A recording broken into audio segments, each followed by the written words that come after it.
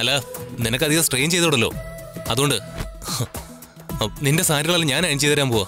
ഇത്രയും കാലം സാറിന് തോന്നാത്ത കാര്യം ഇപ്പോഴെന്തിനാ? നിന്റെ സാരി ഭർത്താവായി ഞാൻ അയൺ ചെയ്യുന്നോണ്ട് പ്രത്യേകിച്ച് കുഴപ്പമൊന്നുമില്ലല്ലോ.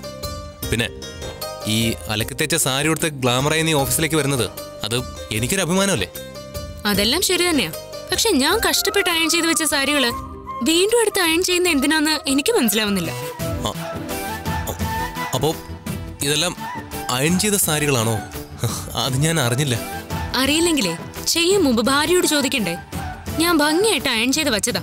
സാർ അത് അലങ്കോലമാക്കി. ഈ പണി അറിയില്ലെങ്കിൽ സാർ എന്തിനാ ചെയ്യാൻ പോയേ? അത് അല്ല നീ എന്തിനാ ഇതൊക്കെ ചെയ്തേ? നിനക്ക് ഇതൊന്നും ചെയ്യാൻ പാടില്ലായിരുന്നല്ലോ. എനിക്കിപ്പോ കൈക്ക് ഒരു കുഴപ്പം തോന്നുന്നില്ല. എന്നെ ഇംപ്രസ് ചെയ്യാൻ സാർ അറിയാത്ത പണി ചെയ്ത് ബുദ്ധിമുട്ടുണ്ടായിരുന്നു.